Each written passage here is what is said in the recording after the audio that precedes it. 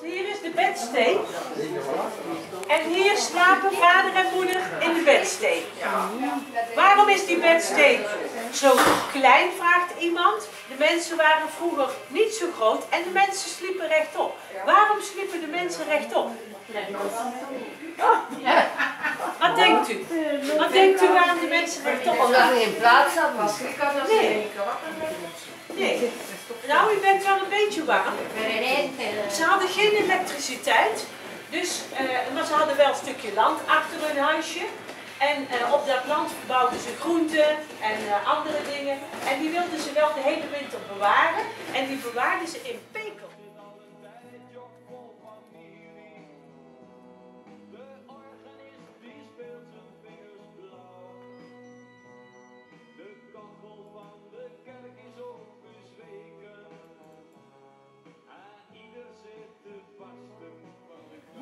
ligt in die bedsteen en vader die is nou werken, maar die komt vanavond ook thuis.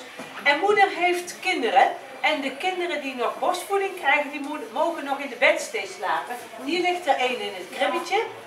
Als die nou 11, 12 maanden is, krijgt ze nog steeds borstvoeding. En dan komt alweer de volgende.